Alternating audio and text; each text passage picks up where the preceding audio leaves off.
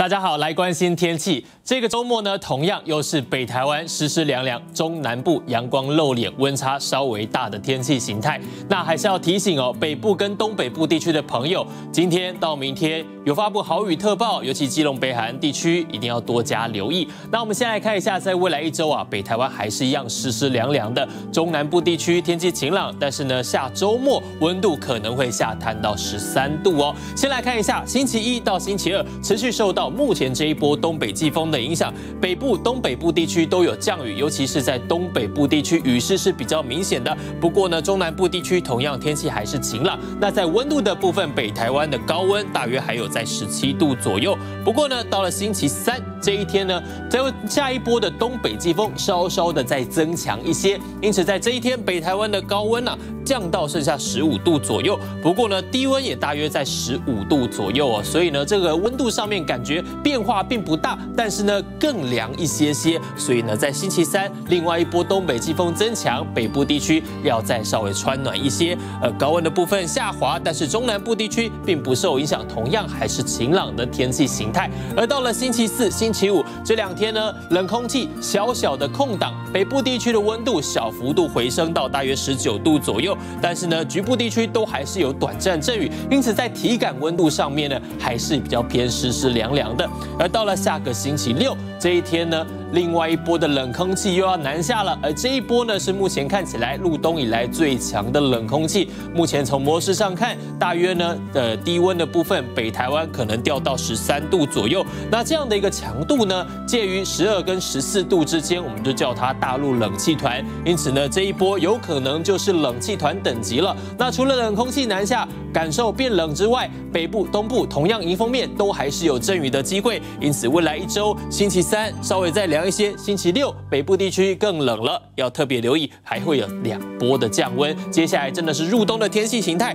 大家外出真的要穿暖一些了。那我们先来看一下，在最新的这张色调强化云图，可以注意到北方呢，哎，可以看到呢，还是有些低层的云系。那有进入到台湾的呢，主要就是在东北部的迎风面，降雨是比较明显一些。另外我们可以看到呢，在整个的菲律宾东方海面这边有很多的对流云系正在发展。哎，目前的这个热带性低气压呢，就在这。这个位置，未来呢，它会怎么走？我们从这张图看得比较清楚。目前整个系统在菲律宾东方海面，未来往北稍微往东北的方向来偏转，对台湾影响并不大，因为主要台湾附近呢，东北风比较强劲一些，因此它会沿着边边持续的往东来偏转。那接下来还是要留意到的，其实是虽然台风没有进来，但是东北风强。为什么三国里农民才是爸爸？在三国，你可以不会打仗，但不能不会种田。近呢，整个的沿海阵风大约是在七级到八级左右。另外，我们可以注意到浪高五米的区块以及浪高四米的区块包围着台湾海峡的周边以及台湾的东部海面，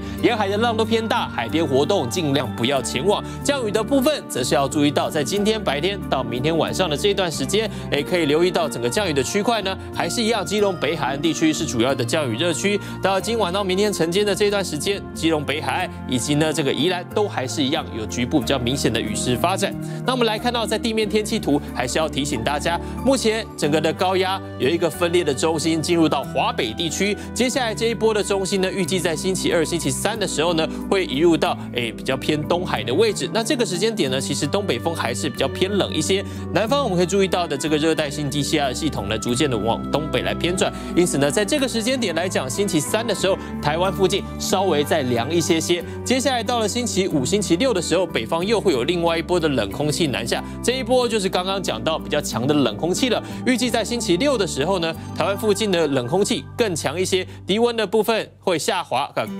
这温度的部分呢，北台湾的低温下滑到十三度左右，一定要特别留意穿的暖一些些。这一波的冷空气预计可能影响到下个星期。那我们就来看一下，在台湾附近水汽还是偏多的，主要是在东北部的迎风面，有些比较明显的雨势，尤其有到豪雨等级。因此，基隆北海岸地区的朋友，如果明天上班上课外出骑车，一定要特别穿暖一些，外出也要记得携带雨具来备用喽。来看到各地的详细预测，北部地区明天的温度呢，大约十六、十七。七度，感觉湿湿凉凉，尤其苗栗以北都有下雨的机会。那在中部地区呢，彰化、台中云量稍多，南投以南，哎，目前看起来是有阳光露脸的机会，高温在二十二到二十三度。而在南台湾，高温的部分可以来到二十六、二十七度。东半部地区，花莲、宜兰都有阵雨的机会，台东有阳光露脸。而在外岛地区，我们可以看到温度的部分，高温大约是在十四到十九、二十度左右。澎湖有些下雨的机会。未来一周的天气状况，北部、东部都是蛮不稳定的，尤其在北台湾，未来一周除了星期四比较有机会阳光露脸之外，接下来都是有降雨的机会。星期日之后还会有另外一波的冷空气南下。